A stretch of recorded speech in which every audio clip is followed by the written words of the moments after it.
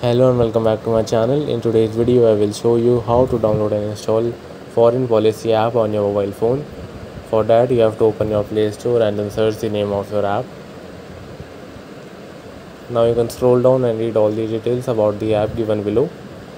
To install the app on your mobile phone